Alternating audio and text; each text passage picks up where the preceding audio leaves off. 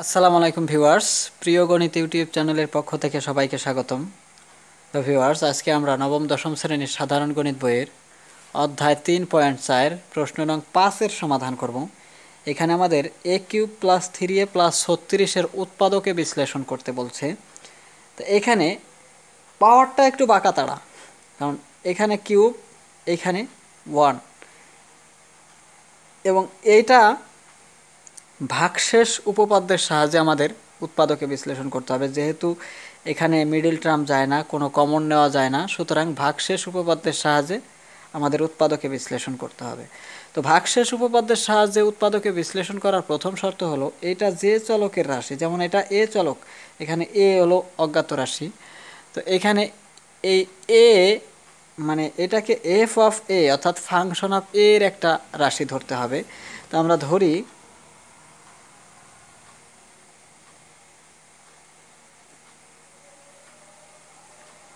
f of a equal a cube plus 3a plus 36 এটা এখন আমাদের দেখতে হবে যে এই এর মান কত ধরলে আমাদের এই এফ অফ এর মানটা জিরো হয়।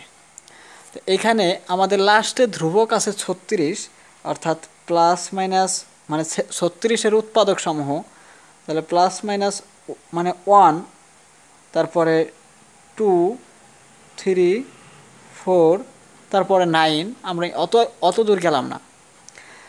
মানে এরপরে নাইন আছে। এই করা হচ্ছে এই ছত্রিশের উৎপাদক। তো এর আগে সব করার আগে প্লাস মাইনাস বসাতে হবে। Plus minus plus minus. তো এই plus minus one, plus minus two, অর্থাৎ plus one, minus one.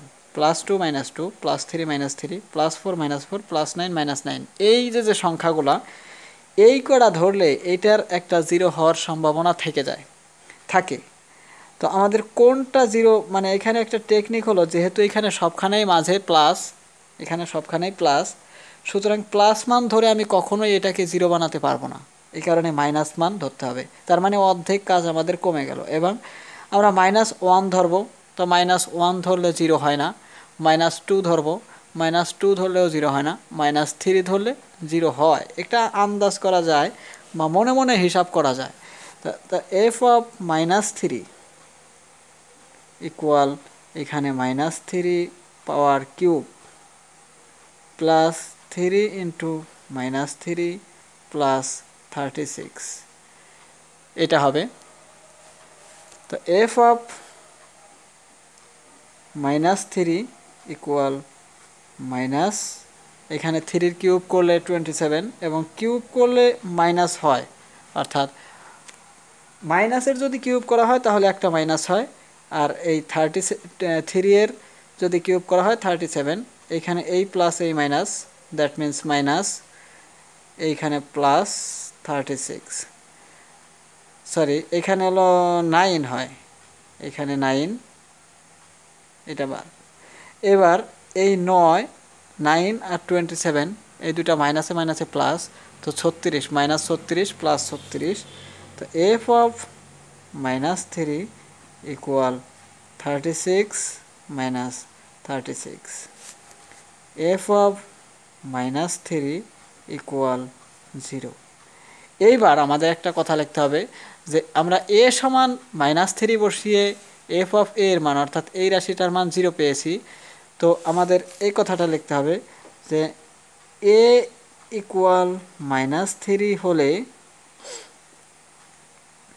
F of a অর্থাৎ আমাদের এই রাশিটার মান জিরো হয়।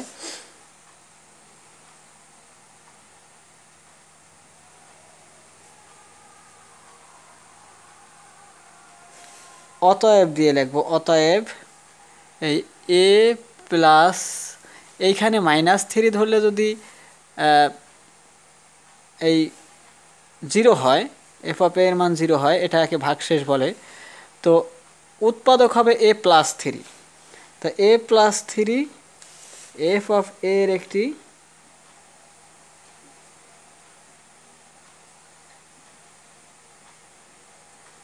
উৎপাদক।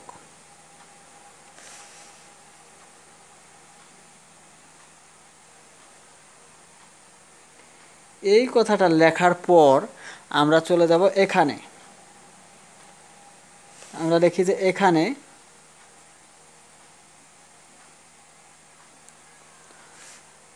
লিখে কমা দেব।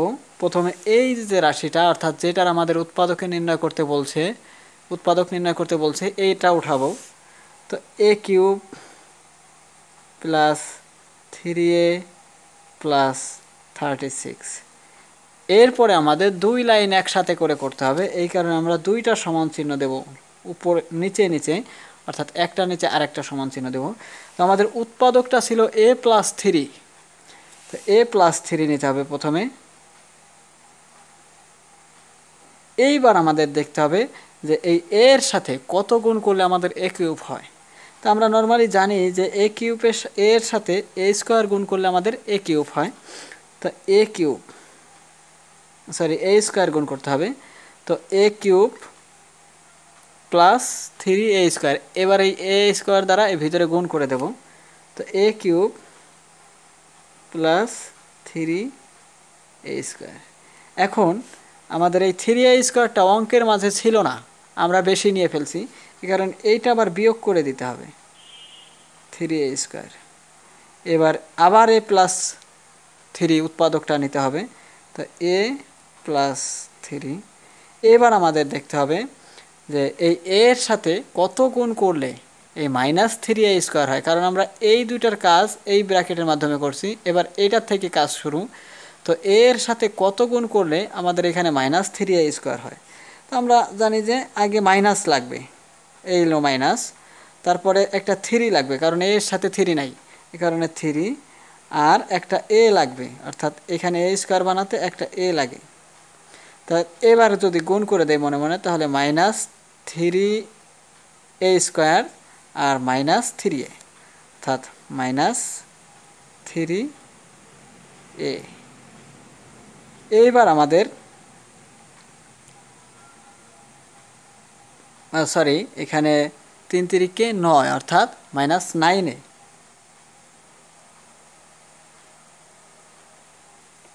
এইবার আমাদের এখানে ছিল হলো প্লাস থ্রি এ, কিন্তু আমরা সেটা লেখে নেই, বরঞ্চ মাইনাস থ্রি এ লিখছি।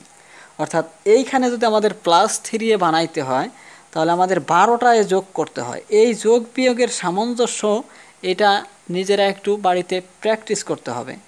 বারোটা এ আমাদের যোগ করতে হয়।